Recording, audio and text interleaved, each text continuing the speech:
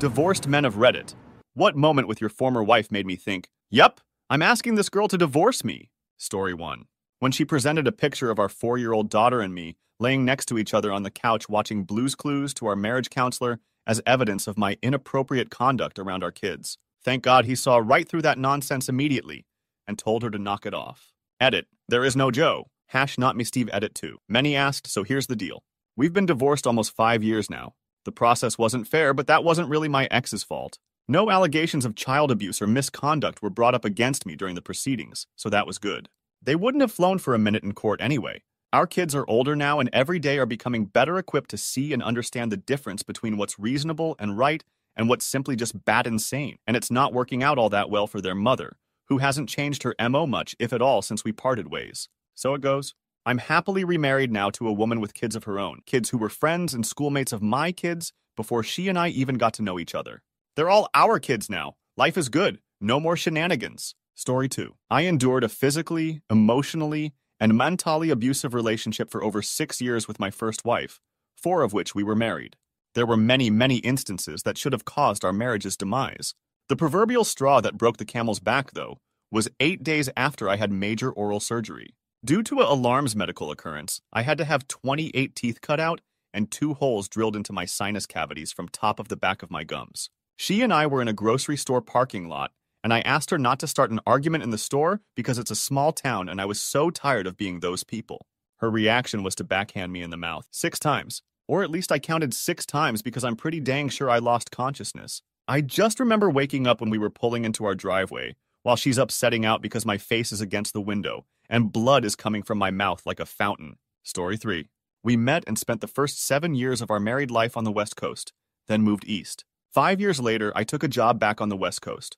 But it was the middle of the school year, so I went out ahead and lived on my own until everyone could join me. Things hadn't been very good between us for a while, but I hadn't articulated it to her, or even myself, beyond vague feelings of dissatisfaction. One weekend, out there on my own, I decided to take a day and drive to one of my favorite towns, a town in which I had lived long before I knew her, a town we had visited often while married.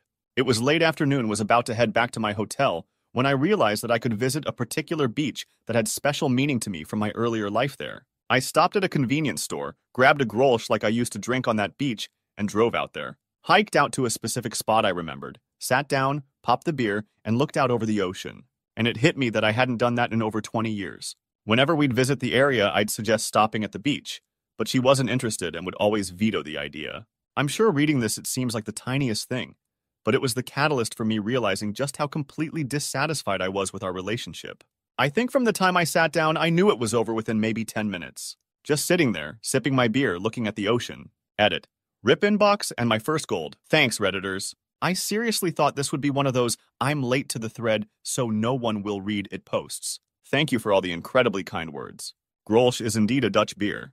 It can be had in distinctive green bottles with hinged, resealable ceramic caps. I chose it because when I had lived in that place before and had headed out to that specific beach with friends, I'd always bring Grolsch. Story 4.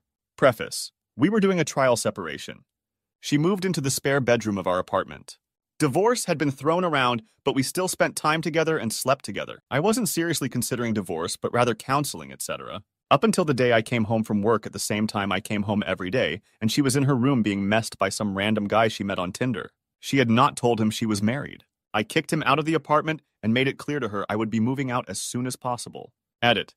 Must add that she expressed interest in counseling as well, and that we discussed ground rules for the separation, one of which was do not alarms other people. Edit 2. Thanks for all the love. For those asking, I moved out because I couldn't afford the apartment on my own. I didn't kick the guy's butt, but I did tell him while punching the door that he had three minutes to get out of my apartment. I said if he wasn't out in three minutes, I was going to break down the door, and it wouldn't be to shake hands. Proud of that line from Enraged Me. Usually, I'm not very articulate when angry. He was out in a little over two minutes. Story 5. 15 years in, and I find text on her phone. Completely blindsided. No clue she had it in her to cheat. Told me it was just texting. Begged for forgiveness. I caved. A month later, checked the phone bill to find that it never stopped. Confronted her again. Cue more begging and more denial on my part that she would let the life we had built go down in flames. This went on for a few months. So many promises. One night, I caught her on the phone when she thought I had left. Suddenly, it's not just texts. Sometimes it was phone calls, too. Just a friend she could talk to that she let things go too far with. Promised to break all contact. Swore it was never physical. Then I found emails. She detailed things that made me sick to read, but also included descriptions of his house. She broke finally, but swore it was all just in the line of duty. That's how she met, you see? Visiting nurse service, and this guy was a client. Promised she was done, loved me, you see? No chance she was going to let 15 years go like that. I wasn't buying it anymore, though. She announced she was going out one night with a work friend. Promised they were only going to the bar, then she'd be home. Maybe late, but not too late. She had taken over her own phone account by then, but wasn't bright enough to understand that Google Latitude was still showing me where she was, and I wasn't about to show my hand. She kissed me goodbye and beelined right for his house, and was there until the wee hours of the morning. Once I knew where she had headed, I called her dad and my best friend to keep me from doing anything dumb. I will love them both forever for keeping me calm while my world went upsetting insane all around me. My father in law offered to stay with the kids and wait for her to get home. Around 3 a.m., while couch surfing my buddy's place, she sent me a nasty text asking where the alarms I thought I was. I texted her a screenshot of her little GPS dot at her boyfriend's and let her know I'd be sending her some paperwork soon. Story 6. She started working at a job with people that were closer to her age, 25, 30, instead of a job where her coworkers were in their late 40s, early 50s. She wanted to go out and hang out with them rather than come home and be with her family. Myself and our, at the time, two year old daughter and a god forsaken cat that she just had to have. There were a lot of other little things that added up over time, mainly her desire to drink and drive, without our daughter in the car, thankfully, and four days a week of not coming home until two or three in the morning and not telling a soul where she was or what she was doing. After a month of that, she said she wanted a divorce. I fought it with everything I had for three months, decided to go to counseling, where the counselor asked her ex wife in your mind, in this marriage already over? After a literal five minute silence, I had the answer I needed. Separated a week later and divorced a year later. We're still civil for our daughter's sake, but I will say that after the initial shock of actually going through a divorce after us both proclaiming to do whatever it takes and never getting a divorce, I will say I'm much happier now. I was able to save up and buy a house for my daughter, and I, which I never would have been able to do had I stayed married. Story 7. I'd found evidence of potential cheating. Despite this, I still was willing to work on things. I confronted her about her feelings towards me, not the cheating. When I point blank asked her if she was interested in counseling or trying to work things out, she said no. That was the first time it would have been better to have stuck with it. There was a tumultuous time after that where we flip flopped and were trying to work things out. Sorta. She complicated things. I had broached the cheating with her, and we made rules during our maintenance period. One of which was that she was no longer to have contact with her friend she was cheating with. I ended up finding out that she was still Facebook friends with him. When I calmly explained why this would hurt me, she turned it around that I was the bad guy. I started living with a friend at this point. During my drunken, half sobbing tirade where I explained everything to him, I finally realized that I don't want to be with this woman anymore. She doesn't love, respect, or care for me at all, and I deserve those things. Moved out, moved on, and have since found a wonderful woman that I will marry in April, even though I figured I would never get married again. Edit. I got hurt, it sucked. It sucked really bad. I never expected to get a divorce. I took some time to work on myself and address the mistakes that I made in my marriage and past relationships. I ended up finding a person who 100% is in sync with me and communicates like a mature adult. She is super smart and helps me through my emotions as I help her through hers. I did a complete 180 on marriage. It wasn't a struggle, it feels right. I thought long and hard after I had decided to get married. I wanted to make sure I was not making the same mistakes again. I believe I've found my true partner, and each day gives me more reasons to believe that to be true. Story 8. I always refused to raise my voice during arguments, which usually made her crazier and scream louder. After one such argument, during which our three year old daughter was playing upstairs, she started coming down at the same time her mother was storming up the stairs like a child of comparable age. Our daughter was in the way, and her mother got in her face and screamed, God, I upsetting hate you, move! Of course, my daughter came to me, hurt, that was the moment I decided it was over. Edit. This was 13 years ago. My daughters are now 16 and 12. Unfortunately, I found out the hard way that, particularly in that day and age, family courts were seriously skewed towards the favor of the mother in many cases unless there was proof of serious neglect, Medicaid abuse. The girls, I believe, are fairly well adjusted and doing okay. Their mother changed in regards to her direct dealings with them, however, continued and still uses them as a way to hurt me whenever she sees an opportunity. I've taken her to court for custodial interference, which is punishable up to 30 days in jail and a $1,000 fine, and they slapped her on the wrist with not so much as an admonishment. It's messed, but I do the best to keep an eye on the situation and try to give them as much stability as possible when they're around me, so they have an idea of what normal is. Story 9. Me and my ex were always having ups and downs. Cutting up my clothes when I was out with friends, cutting my hair when I was asleep, random violence and screaming fits. The usual, we did the normal things couples were supposed to do, and it seemed to prolong the episode for a time. We bought a house, for example. Well, after we had the house, the next thing we needed was a cat. She loved it very much when it was a kitten, but as it grew up, it became more independent. It's a cat, duh. And she couldn't take this and became aggressive towards it. I remember walking in one day and she picked up the cat and threw it up in the air. It bounced off of the ceiling, and then I threw her butt out of the house, bouncing her stuff of the curb. I still have the cat. Story 10. My best friend was in Air Force stationed in South Korea and got married right before he left. After about six months, he flies her out to visit. First night she was there, she would go outside to puff more and more. She left her phone and he looked at it when someone texted her. She was texting two guys on base asking, Do you want me when my husband goes to work? He got out of Dodge when she went home. Turns out she was cheating on him the whole time he was gone and was going to text him she wanted a divorce anyway. Edit. I realized I said Doge not Dodge. I can't change it because it's funny and comments wouldn't make sense lol edit. Forgot to add that she tried to spin it back on him and was annoyed he looked at her phone and didn't trust her. Story 11. I could say it was the day I found the sexting with a doctor from her hospital, but no. I knew even before that. I am a widower and visited the cemetery twice a year to visit my first wife's grave. First wife's brother asked me to send him a picture of the headstone, as he wanted to post something on social media on the anniversary of her death to say something in her memory. I happily obliged and sent him the pic. My second wife gets home later that night and is annoyed at me because she had to find out on social media that some other woman had her last name. I was dumbfounded as she knew I was married before knew that she had my last name, never mind that other woman had the name first, and yet somehow found a way to make yet another thing about her. Everything was always about her, and apparently nothing was off limits to her narcissism. That was the moment I realized this is not someone I could be with every day. Story 12. She had lost her job again after quitting a decent one because she didn't get along with her boss. Anyways, a few months go by and I'm doing everything cooking, laundry, dishes, yard work, etc. I'd ask the kids, What does mom do all day? And they said she plays on the computer all day. So the final straw came when I came home from work and had to wash dishes so I could make dinner. Dinner is made, so I tell family it's ready. She comes to get a plate and serves herself first instead of our youngest child, who was four at the time and couldn't serve himself. As I watched this unfold, it dawned on me. If I'm going to do all the work, I might as well do it by myself or find a partner to share the load with, because she clearly didn't want to be on my team. Edit. To those mentioning depression.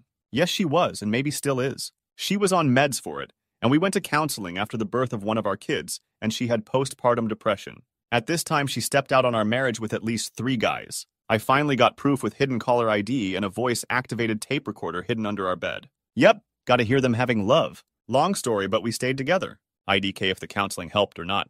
I also need to add that she was never good with money, blew a small inheritance in record fashion. She would give me money for joint bills, and I was handing it back over so she could put gas in her car, or she had bill of hers due. One year, we got a nice tax refund, and she promptly tells me she owes her stepdad $2,000. UTF? Still stayed? In short, my earlier response was to OP's question, and the edit is some background, so you know that this was something that had been building for years. Story 13. Sometimes when my ex and I used to fight, she would decide that she wasn't going to go to some function or honor plans we had previously made, sometimes very last minute, like hanging out with friends, dinner with my family, etc. For example, we got into some argument, and she decided to not go to my only sister's wedding. BTW, the wedding was that day. A year later, she did the same thing during a fight. She threatened me again, telling me that she decided to not go with me to Texas for a reunion with some of the guys I served in the Marines with. I didn't fight it this time and just said okay. Several days later, she tried to renege on her threat and actually tried to turn it around on me. Saying how mean I was for not wanting her to come with me, I told her that I was actually relieved that she wasn't going. I could hang out with my friends that I hadn't seen since I got out, and it would be nice to not have to worry about her crazy, insecure drama. That realization that I was going to be happier without her was the moment I knew we were done. Story 14. Wasn't married, but about one month away from marrying. We worked together at the same job for about a year, but she was first shift and I was second. We both had weekends off, so we could and did things on the weekend. We had got everything paid for and were set. One weekend, actually on my birthday, I went to get a haircut before we went out for the night. I weirdly noticed this one car in the parking lot of our apartments. Didn't think too much as there was a stuffed ton of cars that would come and go. She had gone up to a casino with her mom the previous night and stayed overnight. That wasn't uncommon as they were both huge gamblers. I got back and did some cleaning and she walked in. She looked at me and threw her ring on the table and said, We need to talk. I think I like Joe more now and decided I want to be with him. I don't need the ring and you can cancel the wedding. It all clicked that car I seen was Joe's. She didn't go up to the casino with her mom, but with Joe instead. Even more messed up is I called her mom to see how close they were to home, and she covered for her daughter. I then come to find out her friend Joe was an ex lover who also broke up her last engagement. He was always trying to befriend me too and act like we were best friends. I have never felt less of a man, more ashamed and hurt than when this happened. I sacrificed a lot for her. I was there doing anything and everything for her and her family when her dad very slowly passed away, and she ends up treating me like a pet she could get rid of when she got bored. I still can't remember a few months of time after that happened. I was in a bad place. Edit.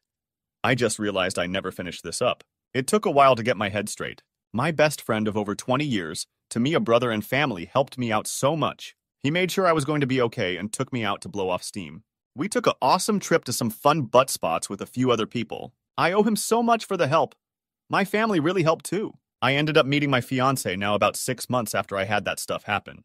We have been together for over five years, and we will be celebrating our first daughter's birthday on June 29th. Amazing what has happened since then.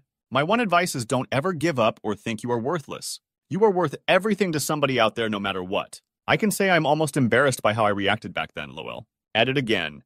I never expected this to get this much attention.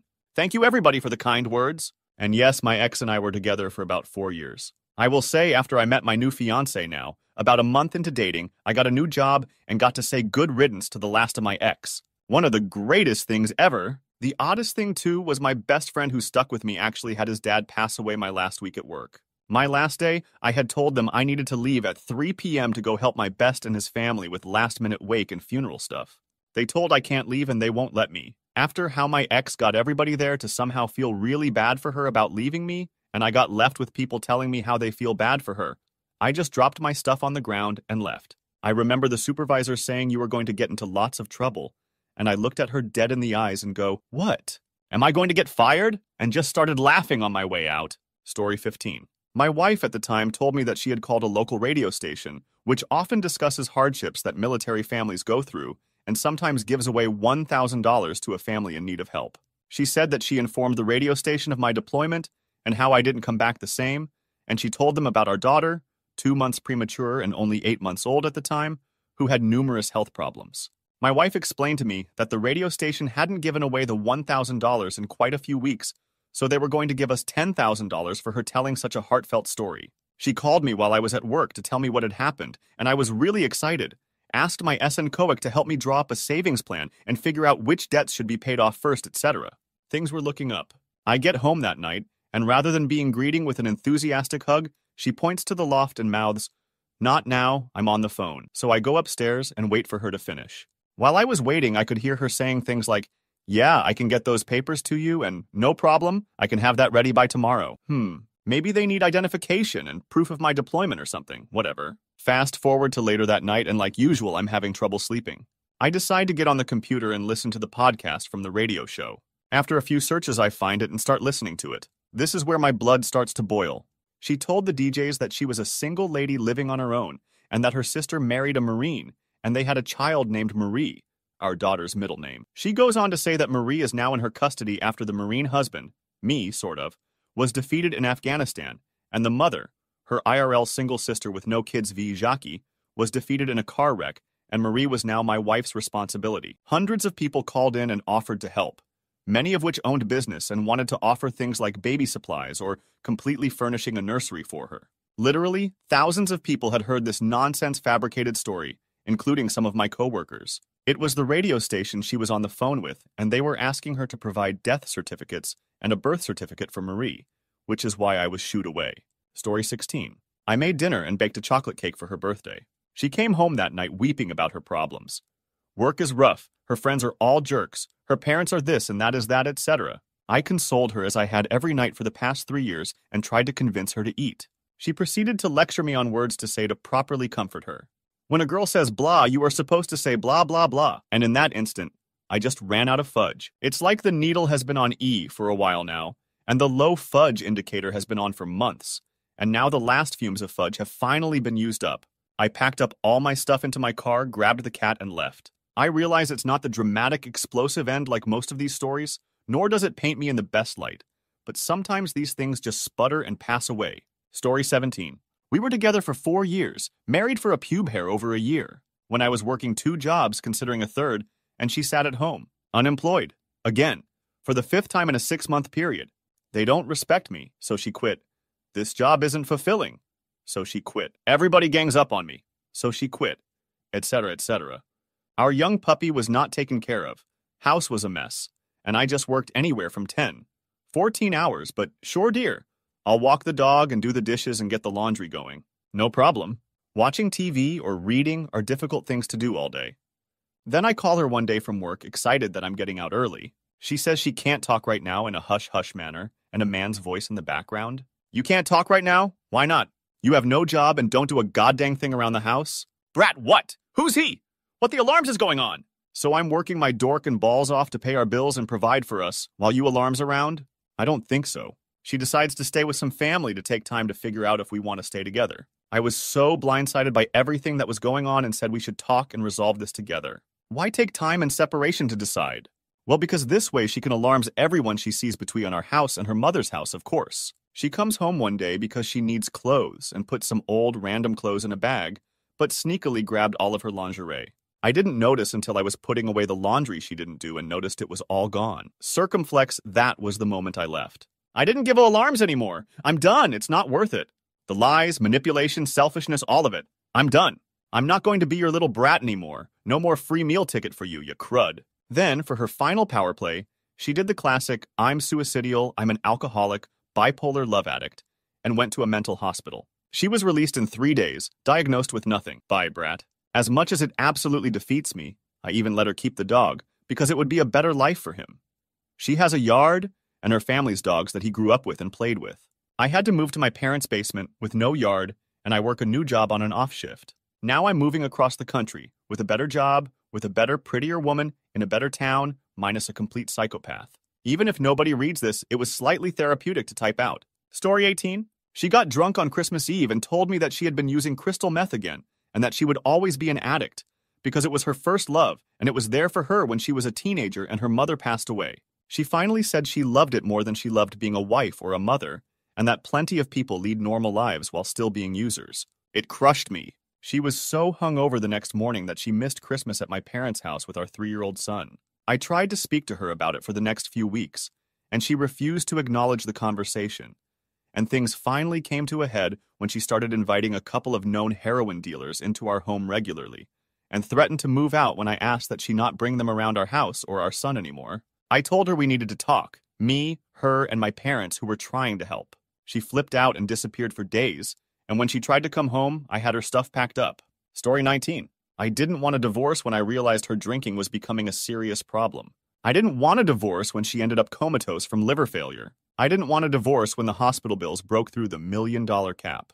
I didn't want a divorce when she came out of the coma and tried to get her life back on track. I didn't want a divorce when she became addicted to opioids. I didn't want a divorce when she became addicted to Ambien. I didn't want a divorce when her pill doctor was arrested and she couldn't get her medicates anymore. I didn't want a divorce when she started drinking again. I didn't want a divorce when I was broke, unemployed, and hopeless, and all I could think of was how to keep food in our kitchen and my son in school. It was then I realized that if she went back up north and lived in the same town as her large family, she could get the help necessary to get better, and I could reduce expenses and see our son graduate high school. The moment I said, Yup, I want a divorce, was the day she left. Her brother had come down and would drive a U-Haul back up north with her and her stuff.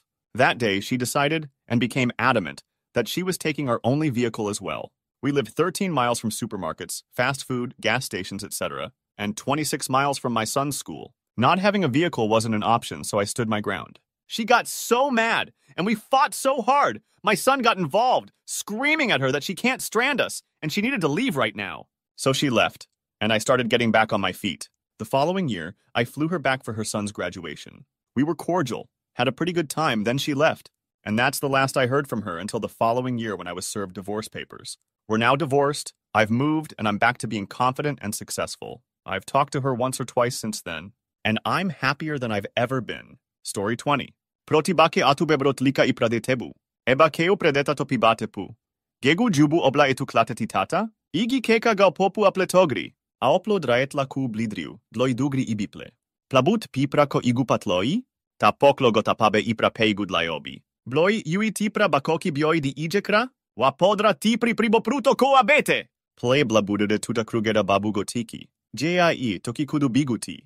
Degi outlube pritigu ubli, to grupi de dedrati duda krikiete bripu, ago pai bae dau kai kudradli preki. Ekritutidi, iepeke kiteo te boe glududu.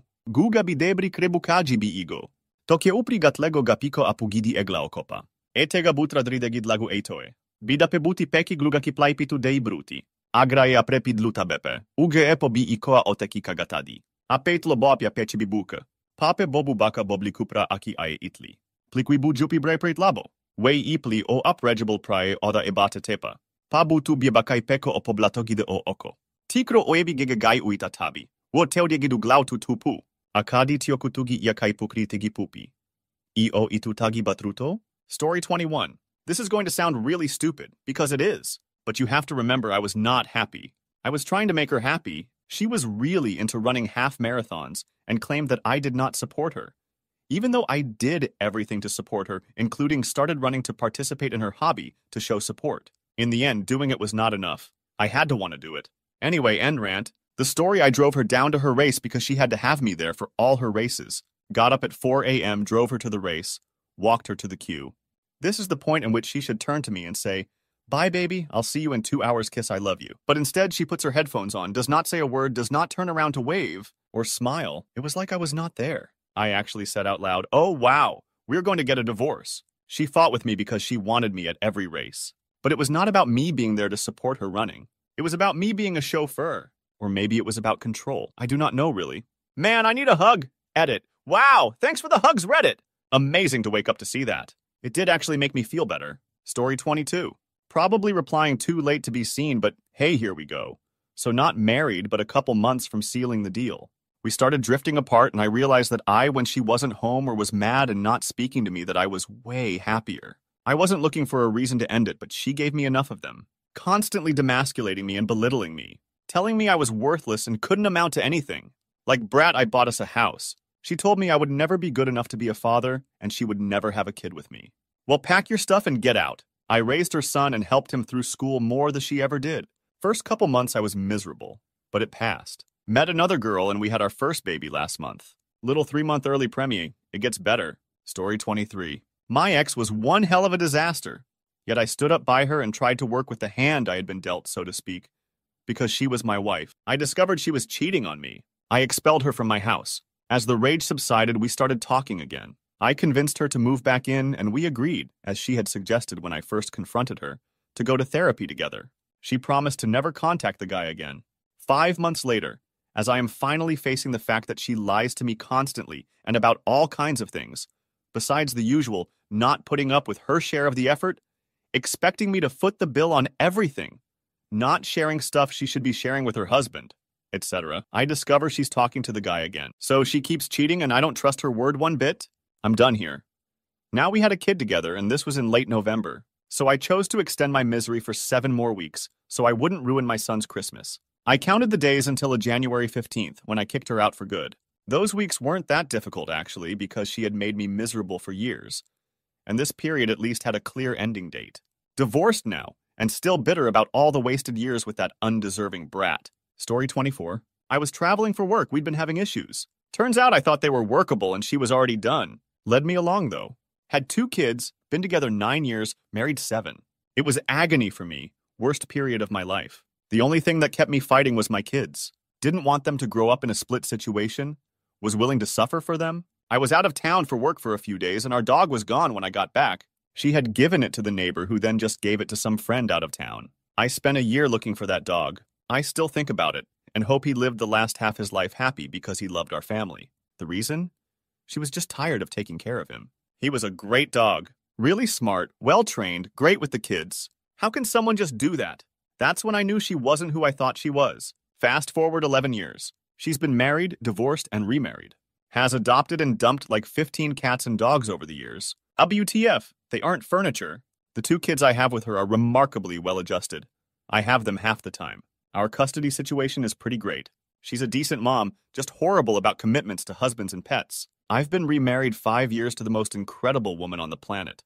Looking back, I have no regrets, except for losing track of my dog. I'll never forgive myself or her for that. Story 25. I worked, she played. She woke me up in the middle of the night to grab the extra blanket off the bed. I expected to find her disgruntled on the couch alone the next morning. I found her in the guest bed with another woman, both naked. No forewarnings or clue ins, just despondent betrayal. I woke her for answers and got a whole lot of mumbles. Decided to split for space. That weekend, we both ended up at the same bar on the same dance floor. I thought she'd followed me there to make amends. She'd brought the same girl and completely ignored me when I called out to her. When I walked up to her, she pretended I was a stranger. I told her I'm not going to play any games and didn't know what was going on. She said she didn't want to be married. I gave her the ring back and went to tell my friends goodbye that night. I didn't want to tell them why I felt so embarrassed. She saw me talking to my friends and decided to make out in front of us with her new woman directly on the dance floor, eight feet away from where I stood while everyone stared. Looking back now, I realize she probably was scared to come out. I can give her credit for that. But she was an awful person for the way she did it, and for never having the courage to say to my face whatever she was feeling. I thought we were best friends. I thought we were going to be together forever. She asked me to marry her. Now I'm just grateful for not being with a liar and a coward. I've made a fresh start. Sold everything traded my entire wardrobe and style to feel like I'm in a new life. Sure, I've lost more money than I ever thought imaginable. And the dog. I just keep optimistic that I'll find someone who deserves my time. I don't focus on the past and I have faith in God in the future. Whoever I marry next will be grateful for a man like me and loyal. But until then, I'm going to enjoy the single life again and just play. Story 26. When my kids from my previous marriage told me on the phone they were not coming to visit anymore because of her, I always felt that I could manage the conflict between her and my kids. I was wrong. The oldest was around 16 and finally stood up to the situation. I told her we were getting divorced as soon as I got off the phone. I had threatened her with divorce a few times prior, but she always told me she'd try harder. This time, she knew I was 100% serious. She moved out within a week. That was a few years ago. My kids and I have a great relationship now. I'm still single and loving every bit of it. Story 27. Not me, but my dad, whom I share a strong bond with. Christmas Day, my sister and I had just come down to open presents. Somehow, my dad had forgotten one specific present for me that I didn't even want. Unbeknownst to my sister and I, my dad was led outside and called a useless piece of stuff over and over by my mom. He had been emotionally abused by her for years before. He finally grew a backbone and said, Alarms you, I want a divorce, calmly walked back inside, and enjoyed the rest of Christmas morning with us. The next day, my mom informed him that she will not pay for any braces. I was just starting to get them, sis needed them, and neither of our colleges at all. I'm going to college next year. My mom has paid $250 for half my college deposit out of an estimated $110,000 for total attendance fees. Upsetting brat. Story 28. There were many moments that got me closer to leaving, but after having our son and her, knowing how excited I was for my first Father's Day, she forgot. Got mad at me for reminding her and told me to go out with my buddy. To me, that isn't the point of Father's Day. She always forgot my birthday and never did anything for it. Told me I could sleep with other people if I wanted, I told her that I married her, not someone else. The time she said I'd love to be a single parent someday in casual conversation. Told me I wasn't as intelligent as her because I didn't go to university, even though I was making good money and was part owner of a business. While she quit, was fired every few months. When my son was still breastfeeding and she refused to feed him one night because she was angry at me, and that's when he started on formula. Or when I got home from visiting a friend out of town and she didn't even realize I was gone for 12 hours. Story 29. Saturday before Easter of this year, she came at me with her desire to go to Germany and see friends that would pay for her round trip there and back. We got into an argument about it. I voiced my suspicion that something more was going on. We didn't speak Sunday. Then Monday rolls around and she tells me she's done. So I get home early, look around on her laptop, and find chats between her and her German girlfriend. I invade her privacy because she had cheated before. She had been planning on divorcing me since November last year. So I call her at work and tell her to pack her stuff and get out. I feel so much better not having the trust issues with her, but this whole ordeal is wreaking havoc on my three children. Story 30. So I am partly to blame. I am not without fault in this. While was deployed to Afghanistan, she had an affair. This is far too common a story on its own. At the time, I was still very religious. I sought to repair the marriage and make things work. I told her I never wanted to talk about it again, and that she was forgiven yet on notice, so to speak. For the next two years, we were both pretty crappy. She never believed me when I told her she was forgiven, and she truly was. She was scared I would cheat on her to get revenge. This made her jealous and controlling. She didn't want me to have female friends, associate with other female soldiers in my unit, typical crazy brat stuff. This was a big factor in the divorce, but not the tipping point. I did learn from it, thought. I'm not a player, but I won't ever be with a jealous gal again. Again, I was not without blame. I had a lot of anger and problems when I came back. I'd get off work and go buy some 40S. Sit in a parking lot and drink rather than go home and try to fix things with her. My anger often got the best of me. I'd never raise a hand against her, let alone my voice. But she would push me to a point where I knew I would. So I'd leave for a couple of days to cool off. Maybe this wasn't the best course of action, but it kept me sane. I eventually got bored and volunteered for a tour of duty in South Korea. My first week out of the country, she messed another man. That was the point where I was done. I married far too young and could have been a better husband. But I take it as a learning experience, something that did make me a better man and a better husband for whatever girl comes into my life. Story 31. I started dating a high school friend when I was 23. Two months after dating, she who shall not be named got laid off. Six months later, she still wasn't working, and I was pressured into marrying her by her parents. Like a dumb butt, I gave in. We got married, and two years later, she still hadn't found work. Not because of the economy, but because she couldn't get off her lazy butt and look. At the time, she was 25, didn't have a job, and didn't have a license. Her excuse was, How will I get to work? A couple of times a week, she would go out with friends while I was busting my butt off working three jobs. She opened a credit card in both our names and would use it for shopping. I remember losing my stuff one day because she spent over $300 on four bras at Victoria's Secret. You might be wondering, how in the hell? She was a natural 42 DD. Once you break 38 DD mark, brass skyrocket in price. Big boobs are expensive, gentlemen. Every time I paid that stuff off, she would go out and rack up the debt again. Finally, I decided I had had enough. Nothing I could do would change her, and I was no longer emotionally attached to her. On the first of the month of June 2010, I paid off the credit card, called the credit company, and canceled the card. I then paid the rent in full. I told the management to take me off the lease and that we would be out by July 1st. I secured a place for myself and prepared for the stuff storm that was headed my way. The following day, I got home and she was sitting down watching some stuff show on TV. The laundry hadn't been done, the dishes were still dirty, and the place was a mess. This was a common occurrence that no matter how many times I begged her to clean while I was gone, never got done. I walked into the living room, shut off the TV, dropped my house key on the table, and said, Voldemort, I'm upsetting done. Despite trying everything to motivate you and doing everything I can to make this work, it's just simply not going to happen. I paid the rent for the month, and you have 30 days to find a place and move out. I'm leaving everything here for you TVs, couch, bed, Wii, computer, etc and I'm only taking my clothes from the closet. I will be out tonight. I gathered my clothes and left. I felt relieved. So much stress gone, just like that. I didn't get but three miles before my phone was ringing off the hook with her mom yelling at me and delivering death threats. The next day, I had my attorney contact her and start the divorce process. It has been heaven ever since. So that's how I broke free from the Dark Lord's spell. Story 32. I was standing next to one of my best friends, waiting for the ski lift to start up, when his brand new wife leaned over and said, Of course it's broken if their mechanic is a Mexican. The shock in his face leads me to believe that's the moment he knew they would divorce in a few months. Edit, to answer some questions. No, she was not joking. We were all frustrated waiting for the ski lift to come back on, so she was dead serious and angry at the mechanic. They got married extremely fast, just over a year, because she was extremely attractive, and my friend was not thinking with his better head. As he gradually learned more about her, they broke it off around six months into their marriage. He is still to this day an idiot around women, which is dangerous because he is now a hedge fund manager.